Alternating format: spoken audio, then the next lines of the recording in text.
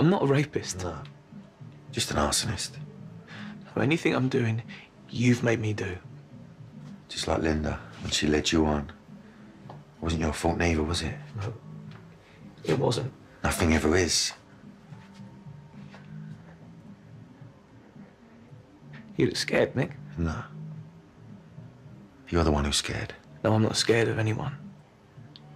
Now, you just remember, I did you a favour by sleeping with her. I opened your eyes. Dean, you know your mum's through there, don't you?